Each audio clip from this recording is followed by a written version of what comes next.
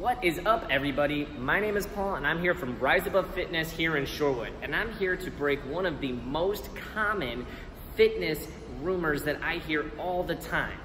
That rumor is that you can both build muscle and lose body fat at the same time. Okay, before I get into this, I just need you to understand that yes, if you're brand new to exercise, you will gain muscle and you will burn body fat. But who cares about short term? We always want to look long term. I don't care what you do in the first three months, what can you do in your first three years? And the reality is, is that you can't build muscle and lose body fat at the same time. You kind of have to pick and choose. I know everybody wants to gear towards losing body fat because they want to look a certain way, but sometimes gaining muscle might be your better option.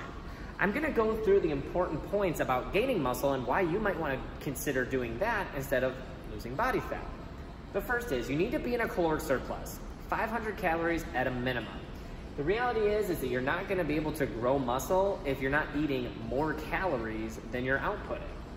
This is going to boost your metabolism long term. So as you continue to gain muscle month after month after month, you will actually increase the amount of calories you burn at rest month after month after month.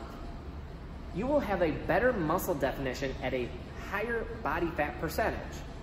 You will see your muscles more defined at 20% body fat than if you were to be a lesser muscle density and size at 15%. Which brings me to my next point, gaining muscle size and density. It's also really important to understand that that rolls back into boosting your metabolism, and the only way to boost your metabolism is through building size and density through your muscles.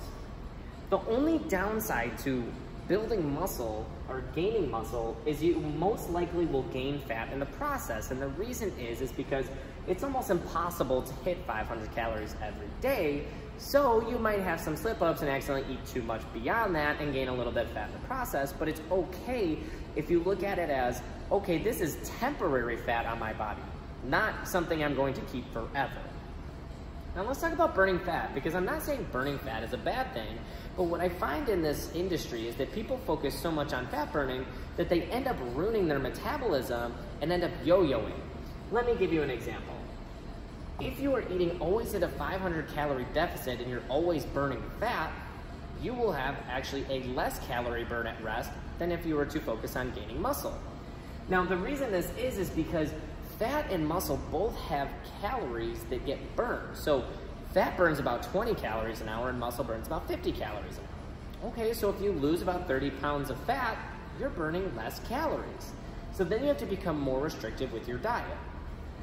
That actually rolls into my next point, which it means it lowers your metabolism. Hate to break it to you, but when you burn your body fat, your metabolism goes down. It makes your current muscle definition more defined this is the area that people think is going to, you know, make them successful with their goals. This is the whole reason they want to lose body fat. But remember, if you gain muscle size and density, you will have better muscle definition at a higher body fat percentage. In the process of doing a 500 calorie deficit, you also may lose a little bit of muscle in the process. And the reason being is the same reason you might gain a little bit of fat when you're gaining muscle. You're not gonna be perfect at that 500 calorie deficit every day, so sometimes your body prioritizes burning your muscle instead of your fat. Now remember, the whole point of this is to get you guys to understand that fitness companies will say and do anything to try and get your business. But the reality is, gaining muscle and burning fat long term is almost impossible to do it at the same time.